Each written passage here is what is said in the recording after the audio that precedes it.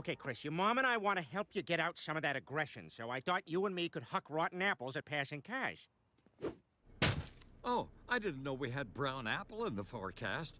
Well, we needed it.